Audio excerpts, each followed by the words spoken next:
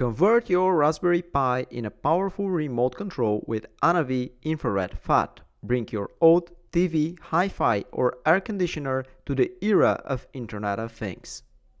Anavi Infrared pHAT is an add-on board for Raspberry Pi that features two 5mm infrared transmitters, infrared receiver, three slots for plug-and-play sensors, UART pins for debugging.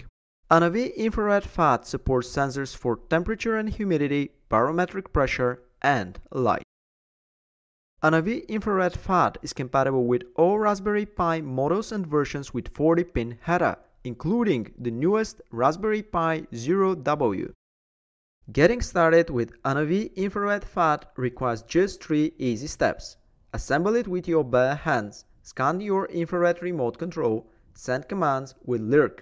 That's it, it's very easy and no soldering is required. Full documentation with exact steps for turning on and off air conditioning is available. Anavi Infrared pHAT started as a small hobby open source project. It combines open source hardware with open source software. The PCB has been designed with KiCad. All schematics and source codes are available at GitHub. The boards are manufactured and assembled here in my hometown, Plovdiv, Bulgaria.